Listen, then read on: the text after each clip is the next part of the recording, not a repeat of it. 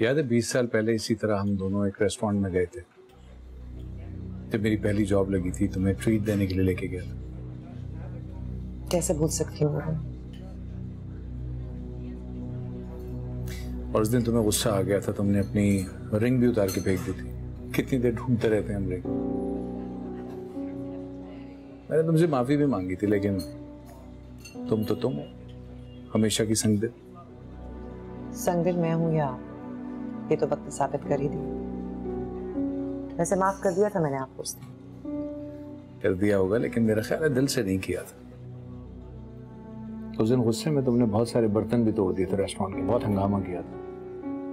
और मेरी जेब में पैसे भी नहीं थे कि मैं रेस्टोरेंट वालों का वो नुकसान ही पूरा कर देता कितनी शर्मिंदगी हुई थी। इंसान तो मोहब्बत में क्या कुछ कर जाता है। आप थोड़ी सी शर्मिंदगी नहीं उठा सके। इसलिए नाता तोड़ लिया मुझसे। नाता मैंने तोड़ा था या तुमने? तुमसे मेरी जात बर्दाश्त नहीं होती थी। मेरी गुर्बत मेरे हालात तुमसे बर्दाश्त नहीं होते। मैं इस टॉपिक पे बात नहीं करना चाहती। देखो ताविंदा अगर हम बात नहीं करेंगे तो जो मिसअंडरस्टैंडिंग्स थी वो कैसे दूर होंगी? मैं आपके और अपने बारे में यहाँ बात करने नहीं आई आपने कहा था रामीन के बारे में आप कुछ कहना चाहते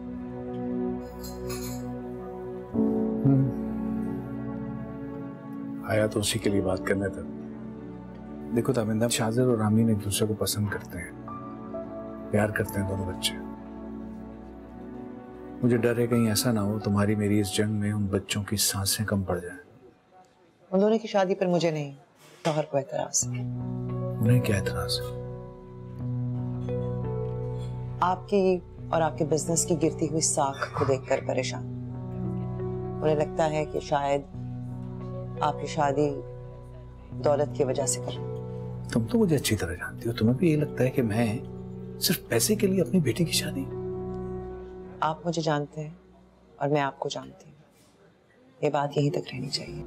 ये दिल है कि सहरा समंदर से गहरा। किसे क्या खबर के? दर्द ठहरा। मैंने कहा था ना उमर अपनी बेटी का रिश्ता मांगने तुम्हारे पास ज़रूर आएगा। वही हुआ। बड़ी बड़ी बातें कर रहा था। ये कर दूँगा वो कर दूँगा। सारा गुरूर खाक में मिल गया। अब तुमने ये करना है कि उसे कहो कि वो अपनी बीवी के साथ आके रामेन का रिश्ता मांगे। ये क्या कह रहे हैं आप? ये कैसे हो सकता है? क्यों नहीं हो सकता? उसकी बेटी मरे जा रही है तुम्हारे बेटे पे। नहीं नहीं शाहजर को ये बात बिल्कुल पसंद नहीं आएगी और उमर हसन भी नहीं मानेगा। ये जरा मुश्किल है। औलाद की खुशी के खातिर वो तुम्हारे पैर भी पकड़ लेगा और यही वक्त है उसको नीचा दिखाने की और अपना पावर और पोजीशन दिखाने की। मुझे आपकी बात समझ नहीं आ रही है ये कैसे होगा? ए लो समझ नहीं आ रही मैं समझाती हूँ।